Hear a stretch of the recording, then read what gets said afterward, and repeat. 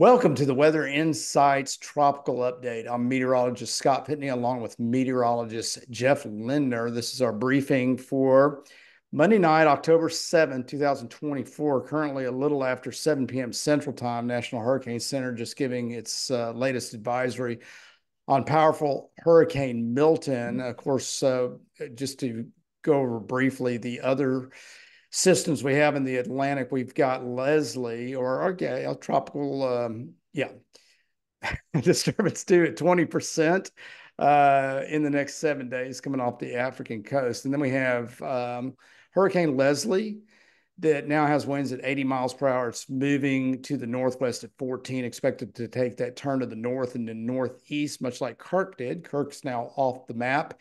And then we have this new disturbance, uh, disturbance one, with a 20% chance of development um, heading in a northeast direction. Of course, all eyes and ears on Hurricane Milton, a category five hurricane with winds at 180 miles per hour, minimum central pressure 905 millibars. Still moving slow, expected to pick up forward speed and still expected to make landfall on Florida's western coast on Wednesday. And um, we were just, uh, Jeff and I were just looking at the infrared satellite showing a very small eye, which is indicative of that eye wall really tightening up, reaching its maximum sustained winds. Uh, very small eye there, just uh, like we always use the figure skater analogy, pulling the arms in. Well, the arms are all the way in. Can't pull those arms in anymore. Um, and even though this this storm, you know, is expected to go th- likely will go through some eye, eye wall replacement cycles and things like that. The winds are going to change, maybe go down a category or so. Jeff, it really doesn't change anything in terms of preparation, evacuations this thing is a monster and it means business. And folks in Florida need to be ready. And anybody listening to this podcast that has friends or family in Florida, um, please make sure that you you help in getting this message out. Yeah, I mean the recon's out there right now. The pressure is down to uh, eight nine nine millibars. So this is uh, actually eight nine seven uh, was yeah. the advisory at seven o'clock. So this is two millibars away from being Hurricane Rita in 2005. Uh, Hurricane Katrina was 902. So this is up there in rare air. Uh, I believe Hurricane Allen, poss- possibly Allen, but definitely Hurricane Wilma There's a strong. I think Wilma was 882 back in the Western Caribbean. So uh, there's not a lot of precedent for this in the Atlantic Basin, what we're facing here. And, you know, just to be clear, a very tiny vortex. So we're talking the eye is about four miles across and that's why you can get these immense wind speeds around that eye when it's so small like that. Uh, what's going to happen in the plane and the radar? There's radar here in the northwest coast of the Yucatan is starting to potentially show um, an outer eye wall possibly starting to form, and this is probably the beginning of what we call an eye wall replacement cycle. So if you imagine the figure skater pulled in as, as tight as you can possibly get at this point, as small as you can be, spinning as fast as you can spin you just can't keep that going forever. And so eventually that inner eye wall is going to collapse down and outer eye wall is going to form. The storm is going to weaken during that process, but the downside to that is you're going to expand the wind field. So while it's very small right now, you're going to expand those strong winds out over a bigger area. And that unfortunately brings the potential for much more impact as this gets up to the state of Florida. So it's not going to come in as a category five, but if it comes in at a four, if it comes in at a three, it doesn't really matter. The damage is sort of already done here with this. Um, it's going to be pushing a lot of water. These massive waves that are being created out of the Gulf of Mexico are going to arrive along the coast. The wind field expanding, just like what we saw with Helene, is going to bring those strong winds really far inland in Florida. So across the entire state. So you can see in red here the hurricane warnings Tampa Bay, Sarasota, Port Charlotte, uh, Orlando, you are in a hurricane warning and hurricane watches for much of the Florida east, central, and northeast coast. Now, Jacksonville, St. Augustine, Daytona, Cape Canaveral, almost down to the Melbourne area. So it's not just the West Coast, it's not just the Tampa Bay area thing. This is going to be nasty up here on the east and northeast coast of Florida, too, as it exits to the to the uh, northeast out into the Atlantic. And, you know, the symbol, the, the major hurricane symbol, smack dab right on top of Tampa Bay right now. This is, this is, would be right now on this track. And, and this track could still shift a little bit. We haven't seen a lot of shifting today, but it could still shift a little bit south. Hopefully, it doesn't shift any further to the north. But this would likely be the worst hurricane in West Central Florida since 1921. Um, and this will be a record unprecedented storm surge uh, on the west coast of Florida. This is this is as bad as it gets. There's there's really no other words that that we have catastrophic, unsurvivable. It's all there um, for these areas here, West Central Florida, and, and we can get into some of those locations uh, in a minute. But this is kind of the wind, and I'm going to move over this kind of quick and, and, and kind of go to this other graphic by the Hurricane Center that kind of gives you the whole picture. So you can see the cone here. Yeah. And we always tell people that, that, that, there could be impacts outside the cone, and this is a great example of that. So Jacksonville, you're right on the edge, and you could get some winds as high as you know 74 to 110 miles an hour wow. up here in the Jacksonville area, down the space coast of Florida. And then this purple area here is winds greater than 110 miles per hour. So this is where you're expecting significant damage. So Tampa Bay, Sarasota, Bradenton, and then inland towards Orlando, Lakeland. Um, there's a lot of population here. You know, we talked about Helene 10 days ago going into this area of Florida up here, the Big Bend. This is not a whole lot of population versus this area of Florida, which is millions upon millions of people. We're talking three to four million people when you add up uh, all of this area here. So the the amount of damage, the amount of uh, damage that's going to be created here is much higher. The damage potential is much higher than it was for Helene up in the Big Bend area. And then, you know, like like I keep stressing, regardless of what the wind speed is, regardless of what the category is, the water is coming. And these yeah. values are probably a little bit conservative, especially around Tampa Bay, especially right around where that eye comes in, the center comes in. Uh, it wouldn't surprise me if you get 18 uh, feet of storm surge above ground level that's unsurvivable. We're talking well into the second stories. I just got back from Florida and Helene and doing the surveys over there and, and, and the structures are just gone. There, there was just, there's nothing. There's not even pilings in some of them left, not even concrete left in some of these. And that is what's coming here to the western coast of Florida. Um, very dependent on the track. You know, the, the Hurricane Center track right now, right into Tampa Bay, that's a, just a horrible, horrendous surge event for the population areas around downtown Tampa, St. Petersburg. If it comes in a little south around Bradenton or Sarasota, your big surge numbers are going to be a little bit further south. Siesta Key down towards Charlotte Harbor, Punta Gorda, areas that were so hard hit with Hurricane Ian and Hurricane Charley back in 2004 and 2022.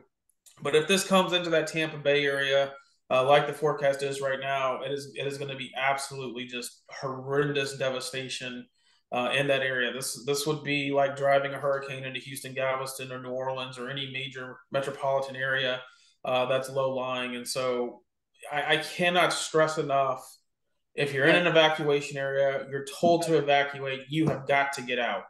Yeah, and, and with Helene, if I remember right, Jeff, the um, um, surge forecast was six to eight feet with Helene. So we're we're talking numbers tw- almost twice that and in some cases. And like you said, those may be conservative numbers. And I, I, know you didn't make it as far south as Tampa, but looking at some of the images coming from there from the Helene damage alone, I, I, can only imagine uh, how bad it's going to be for them with uh, storm surge twice as high as that.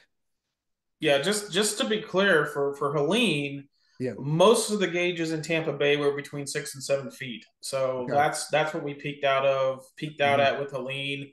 Mm-hmm. We're easily uh, potential here to double that. So mm-hmm. if, if you had four feet of water in your house with Helene, you know, we're talking Clearwater down towards uh, Tampa, Metro Tampa, in Tampa Bay.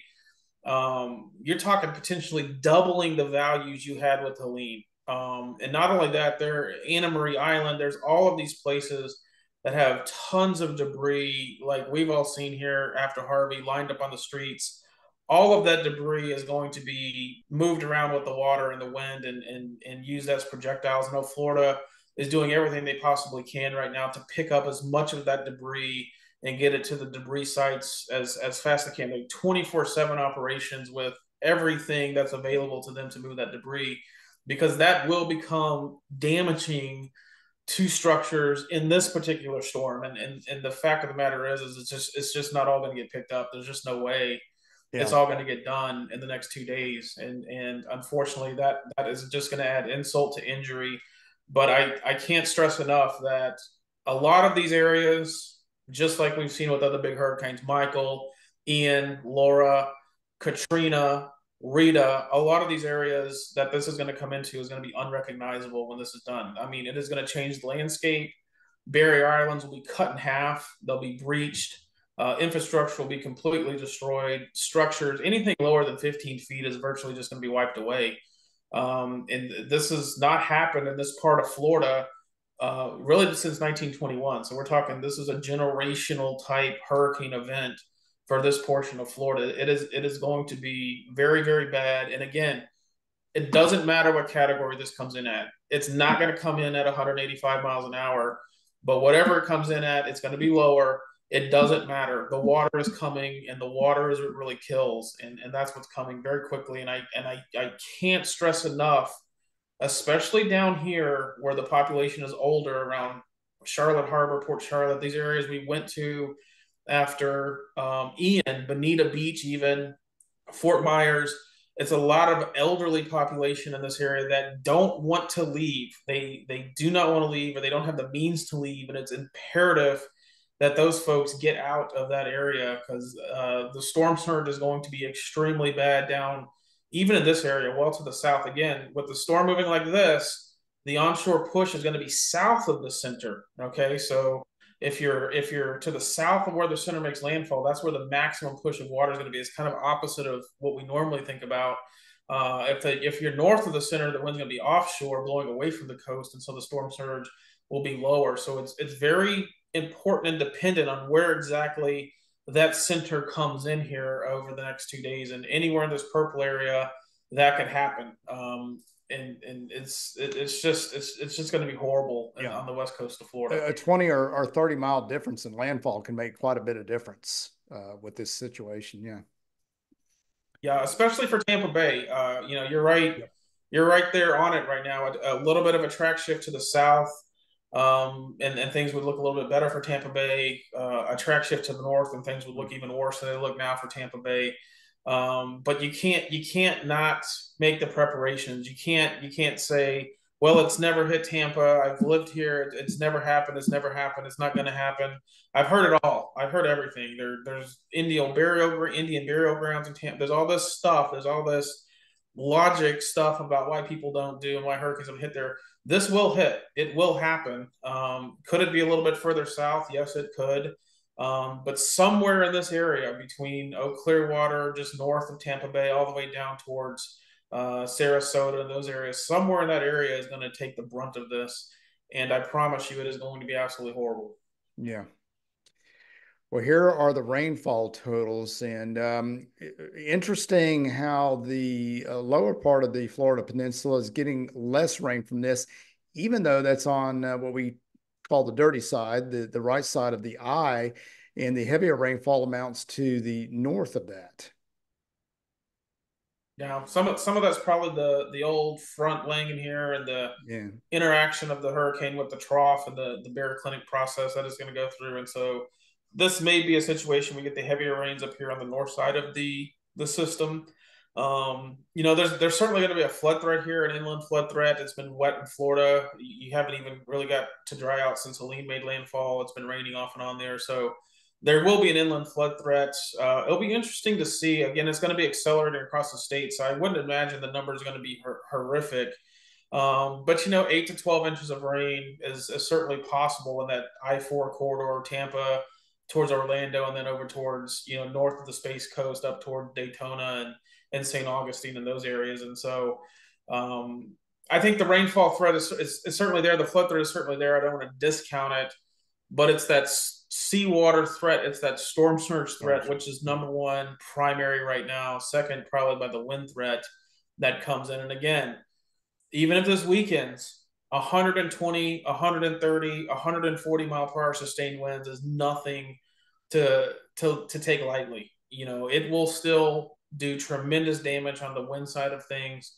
Um, so understand that we're gonna there's gonna be a lot of that in the next day and a half, two days of the storm is weakening. It will weaken, but that wind field is going to expand. That expansion of the wind field, just like what we saw with Helene, broadens the impacts. More people are going to be hit.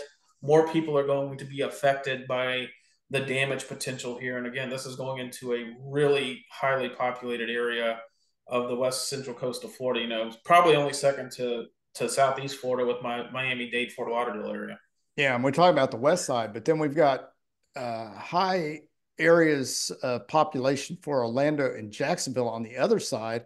And going back to the um, tropical storm wind fields forecast, it's going to make a pretty quick track across the peninsula, about 12 hours um, to get across. So that is one reason that because it's moving so fast that those winds aren't going to weaken a lot and that Jacksonville could see hurricane force winds, uh, Orlando could see hurricane force winds uh, because of the speed. The, the the speed is good, I guess, for the rain part of it. But again, the rain is not the big thing here. I mean, a foot of rain is yeah, that's nothing to mess around with. But Florida's kind of kind of used to that heavy rainfall, but nobody's used to 10, 15 foot storm surge and the wind. And um, yeah, that wind's going to impact the east side of, of the state as well.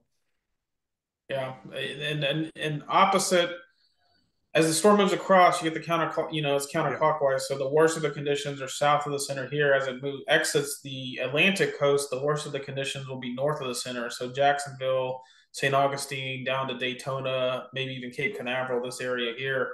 This is where you're going to get the strongest winds, the onshore winds, the tidal rise over here. We're not anticipating a big tidal rise on the on the east coast of Florida. You know, three to five feet uh, most of this is dune protected, barrier island protected over here, so this is not significant. I mean, it's significant, but it's not it's not what you're going to see on the west coast. And you can kind of see that that difference here, south of the center, big values down here, and as the center exits over here, north of the center, big values up this way. So understand where you are with the geography of Florida. The impacts are going to be different based on where you are in Florida and what side of the coast you're on or which side of the center you're on. And so this is um, this is going to be a big deal, and and and um, I can't stress enough that this will be similar to other big hurricanes that have hit the state. You know, Charley, Ian, uh, the hurricanes back in 2004, uh, Jeanne, and some of the other ones, Ivan back in 2004. And so this is this is going to be uh, a horrible event for for the state of Florida. Absolutely, and. Um, we'll have uh, we'll have another update tomorrow on weather uh, insights. We'll keep it right here on the YouTube channel. Um, and make sure that you are subscribed and make sure you share this with friends and family. And again, going back to what I said to at the beginning, if you have friends and family in Florida, make sure they're getting the message. And, uh, you know, anybody that is in mandatory evacuation need to really take that seriously and make sure, you know, mandatory means mandatory. It's not a suggestion. It means get out. Uh, there will not be any emergency personnel to help people in mandatory evacuation areas and it's going to be bad. It's going to be life threatening. So um, don't know don't know how many ways we can say that, Jeff. life threatening is life threatening. It's it's pretty clear. So uh, again, we'll have another update tomorrow, and also check out the blog too, the Weather Insights blog. We'll have that in the show notes as well. Jeff, thank you very much.